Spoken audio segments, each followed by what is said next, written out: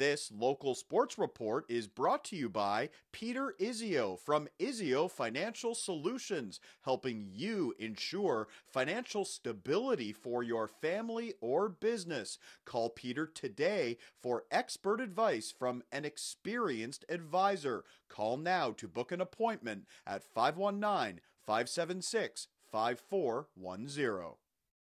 Quarterfinal Friday in the WCSSAA boys basketball playoffs, the Grand River Renegades on the road taking on the Waterloo Collegiate Vikings, the winner advancing to the semifinals on Tuesday. This is Jonah McPhee for the Vikings. He drives. Thomas and Banjoko is there for the putback.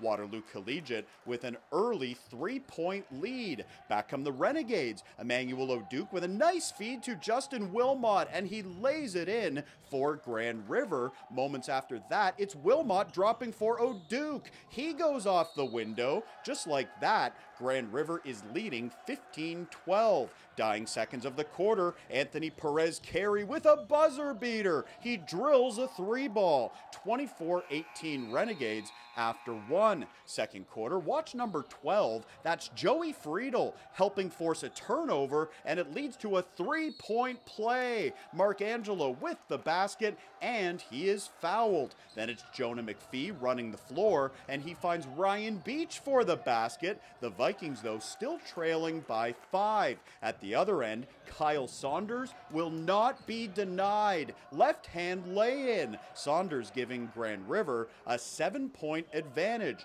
Third quarter, Adrian Strasburger in the far corner, and he drills one from downtown. The Renegades up by five going to the fourth. Here is Mark Angelo for the Vikings. He drives and drains a jumper. The Vikings would get back within three, but from there, Grand River taking control. Amon Salih doing it all by himself, and he gets a friendly roll. He finished with 15 points for the Renegades. On this play, Salih from beyond the arc, and he knocks it down. The Renegades pulling off the upset on the road as they down the Vikings by a final score of 75 66.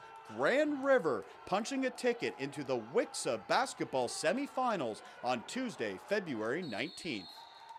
For more highlights, visit our website, 519sportsonline.ca. Be sure to subscribe to our YouTube channel and follow us on Facebook, Instagram, and Twitter.